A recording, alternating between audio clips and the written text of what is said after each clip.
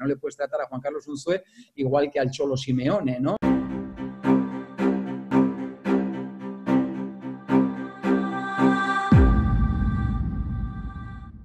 En el Sevilla, además, que compartiste también etapas con nada menos que el Cholo Simeone y con Luis Aragonés, con otros dos mitos. Es que está rodeado siempre de mitos, la verdad, eh, Juan Carlos, en tu etapa por el fútbol, ¿no? Sí, y como, como hablábamos antes, eh, nos, nos, contaban mucha gente que hemos entrevistado, en este caso desde Donato, pasando por Irureta, Futre, las broncas que echaba Luis para motivar lo que hablábamos antes. Sí, sí. ¿Recuerdas alguna bronca que le echase Luis Aragonés al Cholo en esa época en el Sevilla también para motivarle?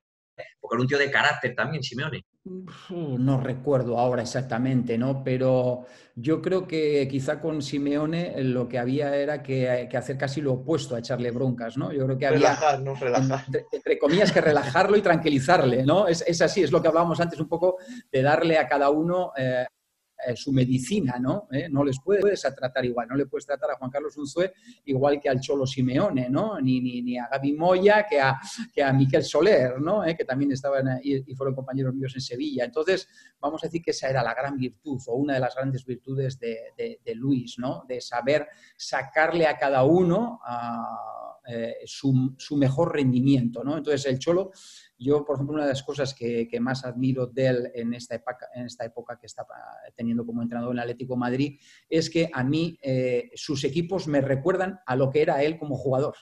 Entonces, eh, e, eso, eso, tiene mucho mérito, ¿no? Y sobre todo tiene mucho mérito ser capaz de mantenerse en el fútbol actual tantos años en el mismo equipo.